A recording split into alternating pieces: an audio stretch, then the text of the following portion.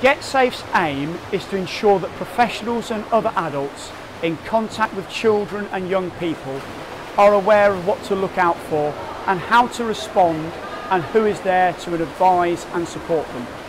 In Worcestershire, we are united in cracking down on those who try to criminally exploit young people for their own benefits. The threats young people face are multiple and complex.